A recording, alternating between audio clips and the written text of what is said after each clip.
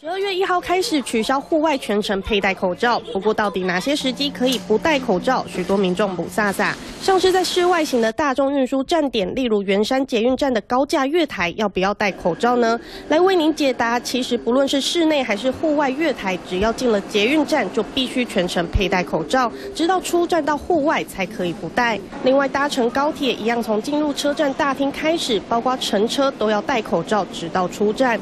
而搭台铁进入车站室内空间，包含月台跟车厢都要戴口罩，但在保持安全社交距离或对方有戴口罩时，可以暂时取下口罩饮食。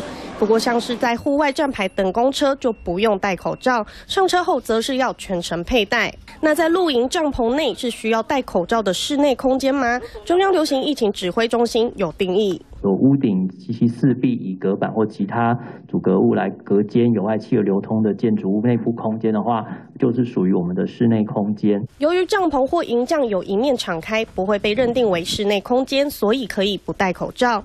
另外，还有社区型的大楼中庭也不属于室内空间，因此以不用戴口罩为原则，除非大楼管委会有特别规定。如今口罩令松绑，哪些情境能不戴口罩？民众可要注意了。